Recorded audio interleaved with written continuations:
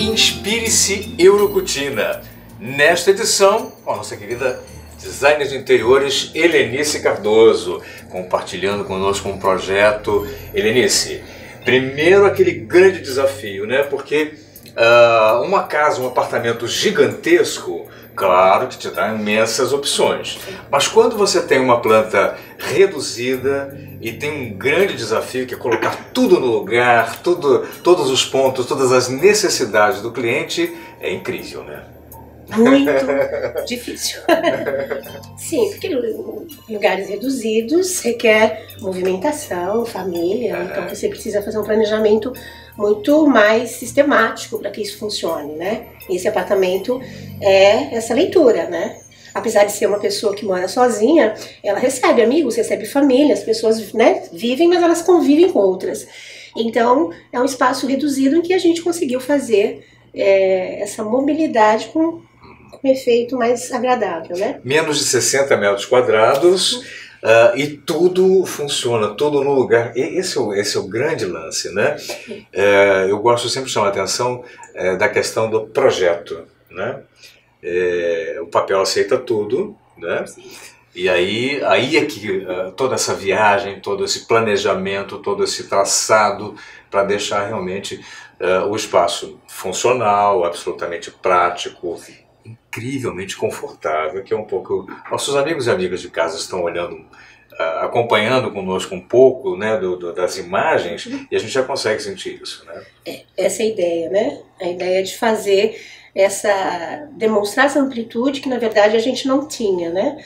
Quando nós eh, derrubamos paredes que não são tão essenciais, nós conseguimos fazer essa integração, né? É, claro, dentro de tudo com muita organização. E esse apartamento ele tem tudo muito organizado, tudo tem o seu lugar certo, né? Desde a lavanderia, que é muito pequena, então tudo tem onde você possa guardar. E isso já isso facilita tudo, porque você vai ter na sua casa realmente o que você usa. Porque nós uhum. temos o ser humano ele tem um, um grande problema, né, entre aspas, de guardar muito aquilo que você não utiliza. E a vida vai te proporcionando essa ideia de que o mínimo que você precisa é o essencial.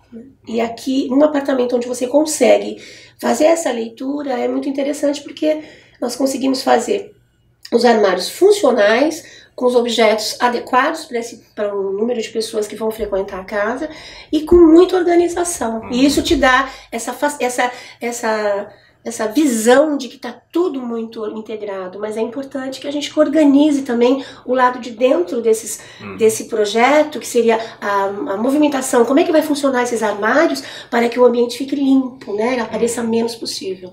Esse é sempre a, a, o desafio maior, né. É, isso, isso é bastante interessante, né? Porque uh, quando você integra os espaços, justamente, é, o, talvez seja esse o grande sim. desafio, né?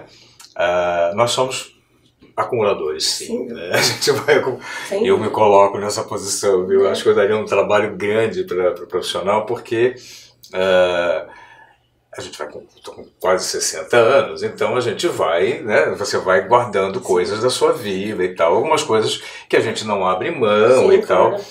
Mas uh, quando você, no projeto, consegue colocar tudo no lugar, né? E uh, ver quando você quer, né? Quando Sim. você precisa, ter acesso ao que você precisa. Sim. Aliás, hoje eu acho que é uma grande tendência, né? Os espaços estão realmente cada vez menores. Sim. Em São Paulo tem apartamentos de 10 metros quadrados, eu ouvi dizer, né? Eu fico imaginando o grande desafio que se teria com, uma, com um espaço desse, né? Exatamente isso. É, às vezes as pessoas se veem. Hoje nós temos aqui em Santos, em toda a região da, do litoral, apartamentos realmente de 43 metros, 47. Uhum. Aí a pessoa fala, mas o que, que eu faço com isso? Eu falo, faz muita coisa. É claro que não é para uma família de seis pessoas, aí não vai dar, principalmente se ele tiver um quarto, né? E geralmente nessa metragem é um quarto. Mas dentro de uma proposta minimalista, você consegue sim fazer um belo projeto. Isso vai muito de acordo com os perfis, o que, que eles acham, o que eles não acham, né? Mas eu achei um, uma, uma questão bastante interessante aqui também, ele nesse aqui, é, de certa maneira você tem as paredes é, todas elas é, encapadas, né? Na verdade, menos pintura, é, papel de parede e uh, muito esse madeirado que vem nas paredes, que dá um toque primeiro de aconchego, Sim. interessante, não é porque a gente está no litoral não, mas a gente usa ar-condicionado quase o tempo Sim. inteiro, não é? Então, a, a, sensação um pouco mais acolhedora, Sim. confortável, é, é interessante também. E acústica também, né? Sim. Não é porque a gente está no litoral que também nós não tenhamos isso, justamente porque a gente usa muito ar-condicionado. Essa madeira te traz um aconchego de família, não sei, eu gosto muito. E a pintura propriamente dita, é, claro, em grandes ambientes nós somos necessários, a, nós somos é, obrigados a fazer mas a, ela é muito engessada, né? Não uhum. tem um uhum. brilho, não tem a parede. E quando eu ponho esses papéis, eu geralmente uso muito papel, mas eu uso papéis claros, uhum. neutros, que re representem uma, uma parede, mas com uma textura. E essa, esse, por exemplo, é uma textura meio aveludada, uhum. que dá essa impressão de tecido. E não é um papel extremamente barato, né? mas que ele dá esse efeito. Claro, eu sempre uso o papel, é uma, é, é um, é uma mania que eu tenho. É. E as pessoas às vezes se estranham, nossa, mas por quê? Porque dá esse aconchego de verdade, né? É uma coisa que também é muito boa para manutenção. É, a manutenção é melhor do que a pintura, não é? Muito, muito mais, né? Eu tenho apartamentos de seis anos feitos com todo, inclusive com alguns tetos trabalhados, mas sempre nesses tons mais neutros, uhum. onde você não tem agressão visual, né? O papel, às vezes eu falo, o papel de parede, ele nem necessariamente precisa ter todo, todo trabalhado em geográficos, em floral. Não, uma parede ou outra. Mas quando você trabalha com ele nessa, nessa, nessa linha mais lisa, uhum. é, principalmente em apartamentos menores, onde você tem muito pouca parede. Uhum. Então você vai pintar, te dá é, uma outra impressão. Na hora que você encapa, que foi o caso desse, uhum. a gente vai ver a modificação que teve na hora que colocou o papel. E eu gosto muito desse. É, realmente, o aconchego é tudo numa família, para um uhum. lar, eu acho que é gostoso. Sem dúvida. E, então, o, o, dormitório, por exemplo, tem, uma, tem uma, um recurso muito interessante, né? Sim. Porque, novamente, é aquela questão: às vezes sobra pouca parede para você colocar uh, o aparelho de TV. E ali você conseguiu uma solução super interessante, né? Que foi embutir o, a, a TV no armário. Na Isso porta. é na porta, né? É. É um recurso fantástico que nós temos hoje no mercado, né?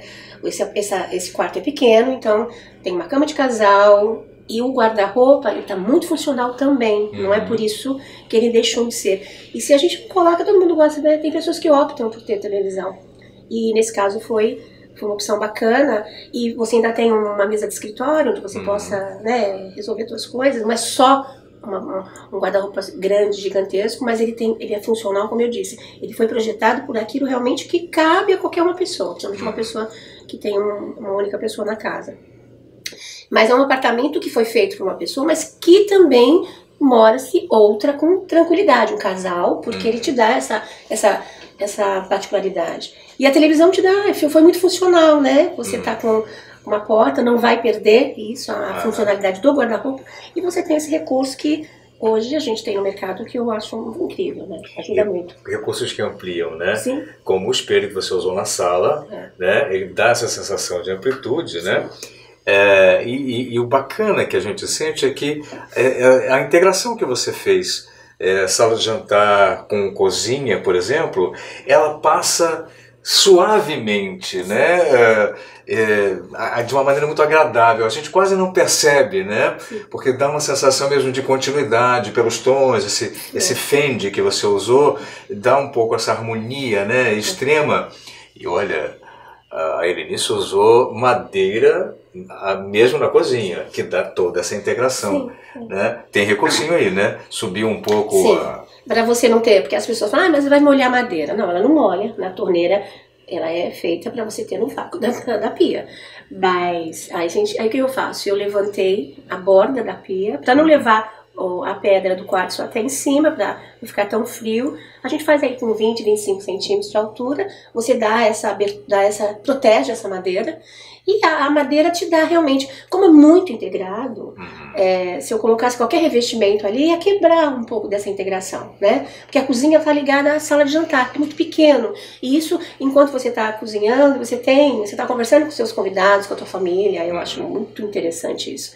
Então funciona e quem tem gosta muito e a gente vai continuando com o que dá certo, né? E a gente vai agora para essa linha dos elétrons que acabam ajudando muito, sim, né? Porque sim. você me falou, é, justamente por causa dessa integração, a coifa tem que ser uma coifa é, adequada, né? Vamos lá para a eurocutina, então, é, nosso Inspire-se Eurocutina. É, aqui o nosso recurso hoje, é, que temos aí, que é fantástico para cozinhas e para compartimentos menores, que é o micro-ondas, o forno elétrico e o grill. Numa peça só. Uma peça só. TK-44. Exato. É o queridinho.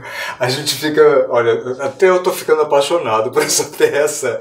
E daqui a pouco a gente come, não consegue é. enxergar mais é. uma cozinha, principalmente para gente que mora em apartamentos compactos, é o meu caso, né? Uhum. É uma solução incrível, né? Sim. Porque você consegue tudo. Esses dias mesmo na, na, na Eurocutino, nós estávamos lá. Ah, nós estamos juntos, Sim, inclusive, não é? E o, o Leandro preparou churrasco nesse forno. Forno elétrico, micro-ondas, churrasqueira, forno de pizza. Ele faz muito. É impressionante, é impressionante, a qualidade que a carne fica. Sem fumaça, sem a sujeira.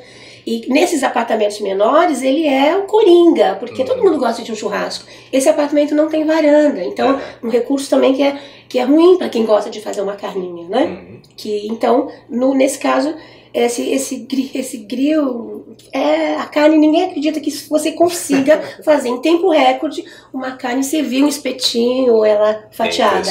É e eu gosto muito, então não abri mão né, de colocar isso para um cliente também. Legal, legal. Você me contou que o, uh, uh, o cooktop, aqui também você uh, preferiu evitar é, o uso do gás, né? Portanto, esse cooktop é um cooktop de indução, eletromec de indução. Exato. Vamos explicar um pouquinho o que é um, um, equipamento, né? um fogão de indução, que é diferente daquele que a gente está acostumado de chama, ou mesmo elétrico, né? Sim. Porque são padrões diferentes, Sim. né?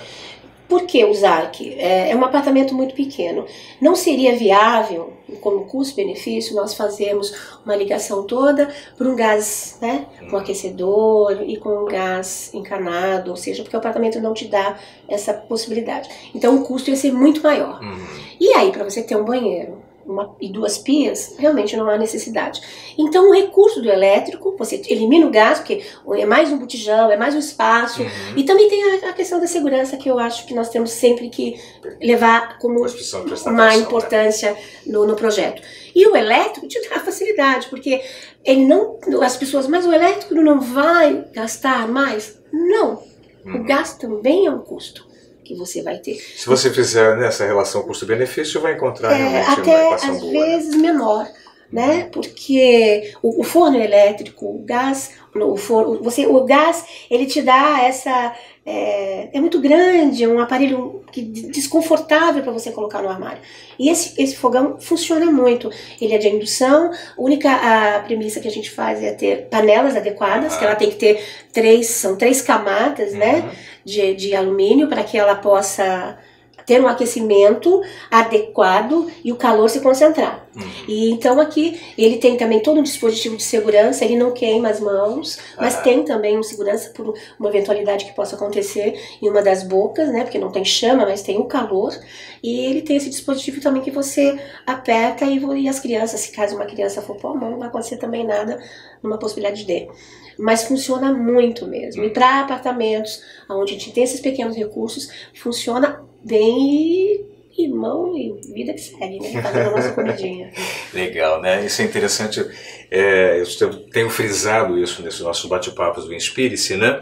É, o quanto a, a tecnologia é, nos traz é, extrema praticidade, Sim. não é? Porque nós não temos muito tempo, né? Sim. Então, às vezes, pra, mesmo para fazer, para fazer uma, uma, uma, a nossa comidinha, né? Quem, quem a gente hoje já faz as nossas incursões pela Sim. cozinha, né? Quase todo mundo criou um pouco esse hábito, né?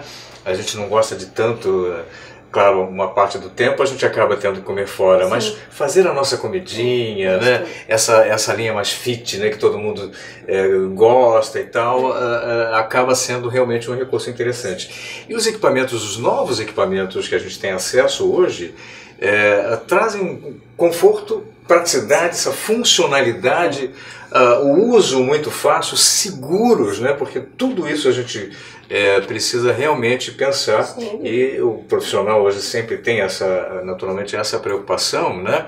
É, de proporcionar uma vida né, uh, muita qualidade de vida, né? Porque é isso que a gente percebe. É? Praticidade, é? eu diria, né? Porque a qualidade ligada à praticidade. A gente realmente, todo mundo, ninguém tem mais tempo, né? Hum.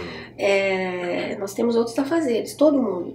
E o, o que é muito importante a gente salientar, o custo desses produtos, às vezes o cliente pensa assim, mas é muito caro. Não é caro. Se você for comprar um forno, um micro-ondas uhum. e uma churrasqueira, talvez até acrescente mais dependendo do produto. Hum. É um produto único, com um valor agregado muito importante, que se você for comprar os três, porque todo mundo precisa de um forno, todo mundo precisa de um micro-ondas, ah. então ninguém vai abrir mão de um ou outro. E, e, às vezes, e você tem um item a mais, que é a churrasqueira. Ah. Fazer uma pizza, quer dizer, é um produto que na, na, na, avaliação do, do cliente, todos eles acabam vendo realmente vale a pena, não é nenhuma bicho de sete cabeças, né? Em neurocutina você tem esses, e como outros produtos que eu uso muito, com preços de mercado, né? Só, aí só tem agregando ali funcionalidade, beleza, é, a praticidade, né? E e os valores que são agregados naquilo que você realmente está comprando. Né? Bom, eles adoram ensinar a gente, né? Cada, é. cada item que, que você compra Sim. na Eurocotina é, eu acho bacana isso, né? Porque tem essa preocupação, né? Que você, é, que o, o cliente fique extremamente feliz, né? Com é, usar aquele equipamento. Né? Então, na verdade, eu acho que é, esse é o grande lance é, que a gente tem no Eurocutina, né? Que eles adoram o que eles fazem, né? É, e gostam que a gente conheça bem né, aquele produto que, que está que vai manusear, que vai utilizar. Né? A coifa que você usou para justamente é, num ambiente integrado, ela tem os poderes de sucção que o, o profissional especificou, uh, o equipamento mais adequado. Esse é o nosso Inspire-se Eurocutina. Por isso, compartilhar com nossos amigos e amigas de casa projetos incríveis, uh, projetos enormes ou aqueles também mais compactos, né? Sim. Que fazem tão parte do nosso, da nossa realidade, do dia a dia, uh, e que precisamos realmente de bons projetos. Sim. A Zane de Interiores, Helenice Cardoso, nossa convidada no Inspire-se Orcutina desta semana. Bom, eu tenho certeza que o pessoal está amando o que a gente compartilhou aqui. Obrigado, Helenice. Prazer sempre. Eu sei que tem outros projetos a gente espera poder compartilhar também. Vamos lá. Obrigado. Obrigada a você.